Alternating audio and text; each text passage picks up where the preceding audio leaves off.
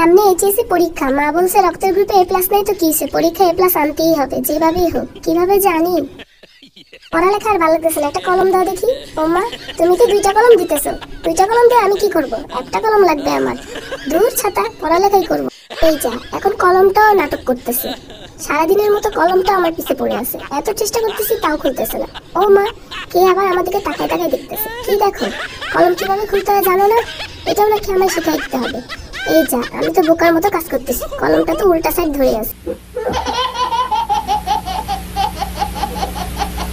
11 phones will bring you